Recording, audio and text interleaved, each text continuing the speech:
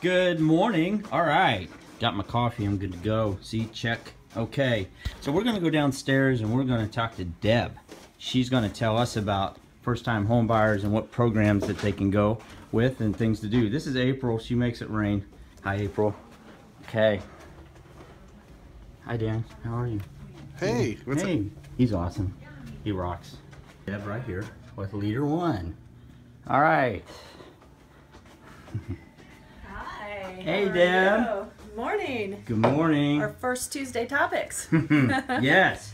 Okay, so I told the folks we're coming down here talk about first-time home buyers and the kind of program they could go with for that, and just tips on what they need to do to get started.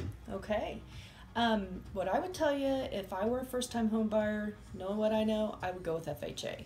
Okay.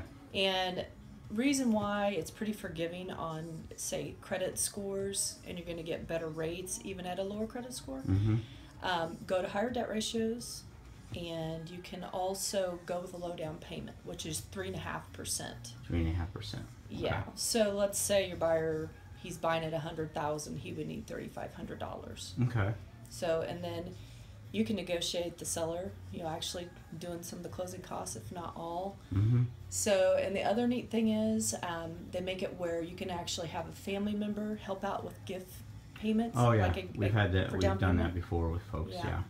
Not them out. everybody qualifies for that. Sometimes it's uh, our desktop underwriting will actually not allow us to do it She's that busy. way. See her phone rings. That's right. It's constant.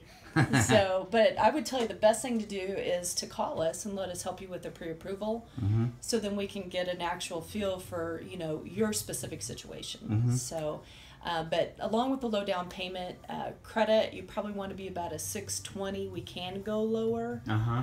But there's some little caveats there I would discuss with you that you'd have to do to go lower. But it could go down to a five eighty. What if somebody has no idea about what their credit is? Because we get first-time home buyers that call us up. Yeah. and they just know they want a house and they don't know what their credit is they're not sure do they just give somebody like you a call and you help them get started on that Yes, that is the very best thing to do, and then that way we can get a game plan going. Because sometimes they might need a little time to save some money, mm-hmm. uh, might have a few little things to work on, such as credit, and that is the very best way to do it. It's free, doesn't cost them a thing. Might take us, you know, just a few minutes over the phone. We've got an online website too that they can go to, whatever's easiest. right But that's the first place to stop for sure. And then time being our friend that gives us, you know, a way to help them get a game plan going so we can get them on track for buying a house. and we've had people that we've helped that maybe they, they we've had some people take as long as a year to get the credit right Mm-hmm. but the,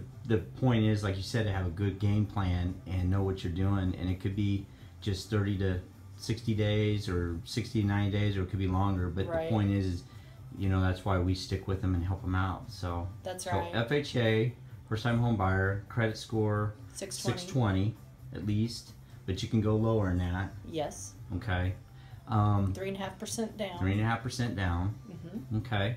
Is there any kind of conditions when, um, just real quick, like when they're looking for houses with FHA, what kind of houses can they go for with FHA?